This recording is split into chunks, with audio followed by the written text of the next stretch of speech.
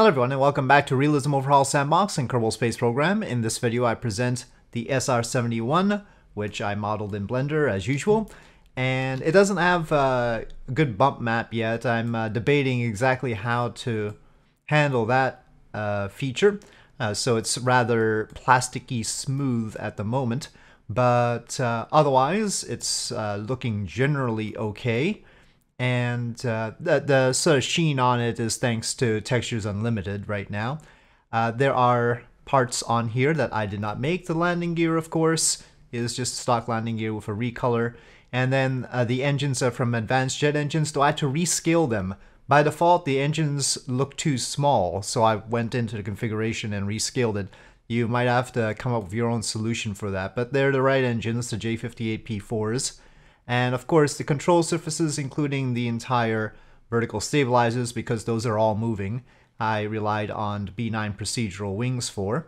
And so we've got all of these. This needs to be more of a gap. Now, because the wings aren't in symmetry, uh, because their shape is unique, um, that means that the control surfaces are placed individually. That's a little bit of a hassle, but there we are. And so just to show you what the parts are and how they put get put together. So typing in SR71, obviously this will be, these parts will be in the video description. And so the body, like that, and still working on the whole cockpit thing. The actual, the cockpit hatches are actually their own individual parts. And so after the body, we need the left inner wing. So there's a node there for it and the right inner wing. Node there for that. And then the left engine pod or left engine pod like so. Right engine pod like so. And then left outer wing and then right outer wing. So those are the parts. There is a quirk unfortunately. First of all, as usual, I've had difficulty trying to get it past the speed of sound. That happens with like everything. But I've already pulled the tricks that I pulled on the other planes, and I've gotten it past the speed of sound, but it's a little bit weird. So I put the FAR aerodynamic model on this wing piece and that wing piece, but I left it off of the outer ones. And that's because it has a serious roll on takeoff otherwise. In fact, it still has a serious roll on takeoff, but it's manageable. But it has a rightward roll, and that's why I didn't put the FAR aerodynamic model on the wings of my other models, because uh, it had that rightward tendency that was uncontrollable. But now, because the wing is basically split in two, well, or four, um, that means that I can leave it off of the outer ones and it allows me to control it better. The FAR aerodynamic model makes it easier to go past the speed of sound, but uh, again, if you can't take off, that's sort of an academic situation. Uh, so yeah, I don't understand why it does that. I still need to investigate that. It's probably probably has to do with the orientation of the parts in Unity or something. I'm not sure, but yeah, I'm gonna open the craft file up that I had built already, and we'll see how it flies. Okay, and uh, just note, sometimes it flops on its tail and can't recover, in which case just push down on the control surfaces, down they'll push the nose down, so that's proper. But, uh, a little quirk there. I'm gonna use atmospheric autopilot, throttle up, and here we go.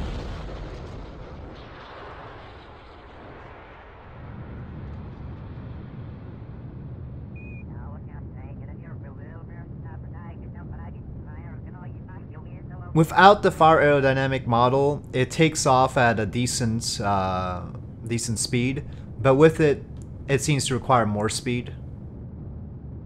And here I'm gonna...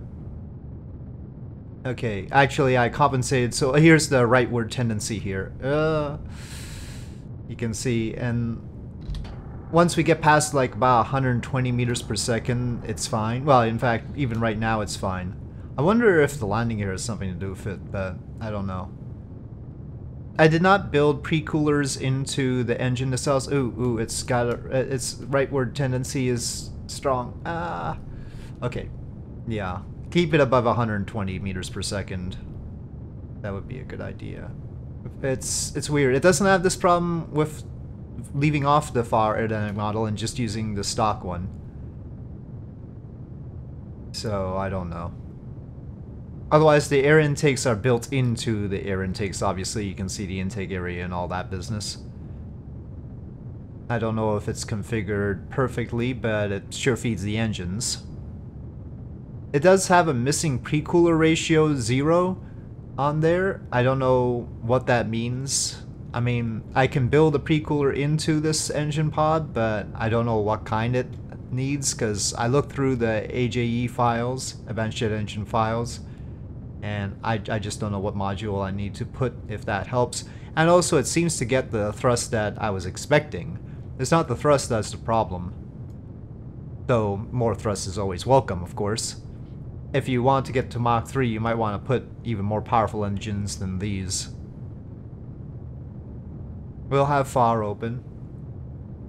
It's sort of got partially sensible data right now. Uh, you can see our lift, the drag.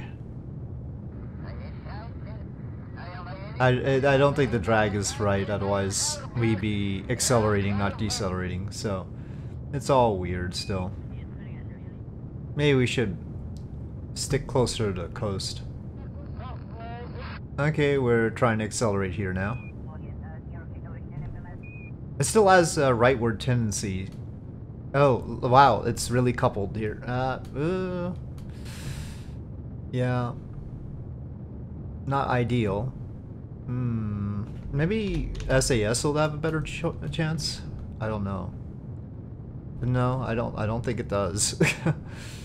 uh,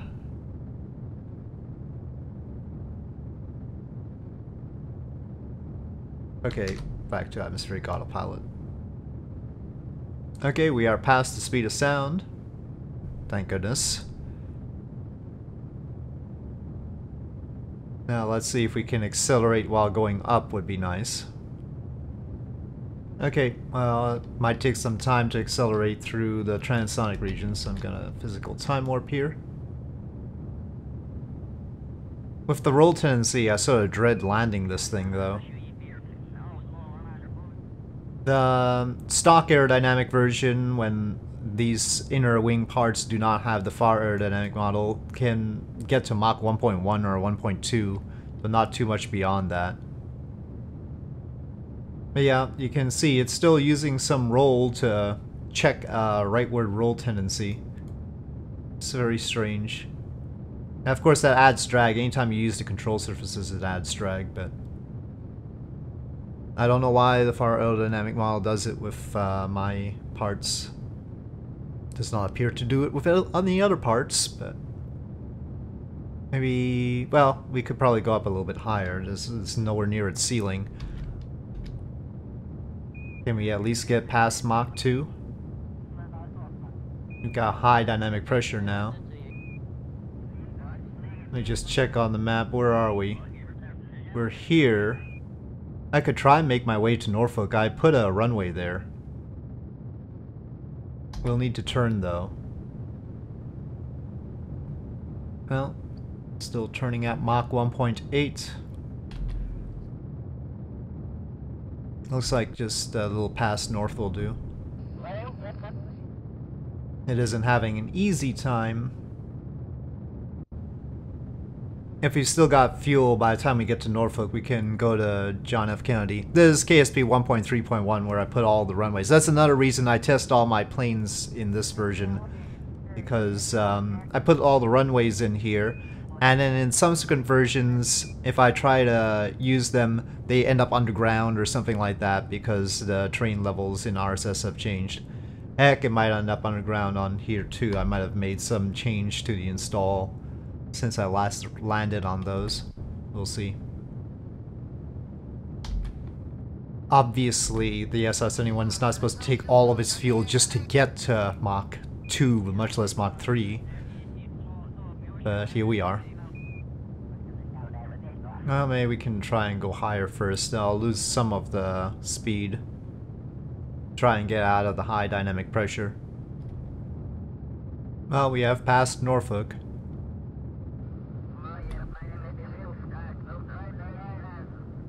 Okay, well, we're getting close to Mach 2 at least.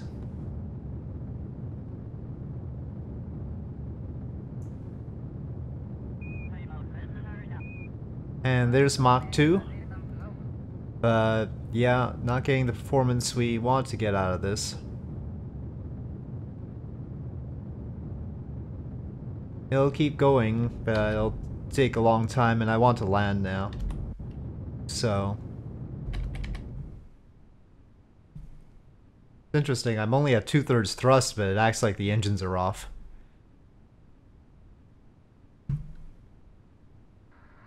They make hardly any sound when they don't have afterburners on. I don't know how well Kerbal Konstructs' runways are lit in the dark. Oh, there it is. We can see the runway. Oh, I should really send now. The runways. Of course, doesn't look at all like JFK right now. It's in the right location, but the land, the terrain, it doesn't have the right, um, doesn't have the right shoreline. I made them nice big runways. Suitable for many purposes. There's hardly anything else going on around here after all. Okay, gear down.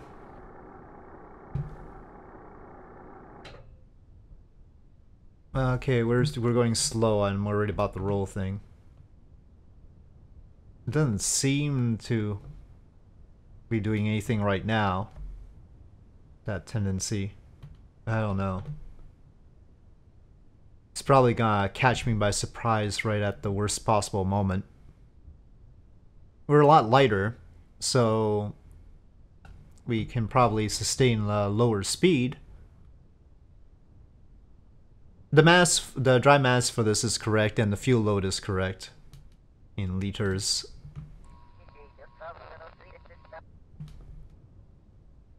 Dry mass is something like 30 tons. Obviously the engines are correct, so the things that I have to play around with to coax it to Mach 1, uh, Mach 3, Mach 1 is easy, Mach 3 are limited. Oh, the runway sort of tilted a bit. Great. Wow, it really slows down fast. It's got a lot of drag, and I don't know how to get rid of that drag, really.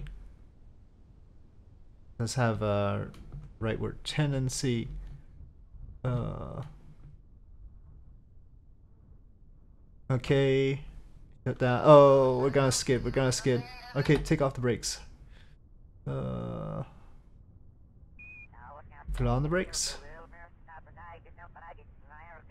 Oh, we're on the shoulder. Oh, oh, oh, oh, oh, oh, oh. Ow, ow.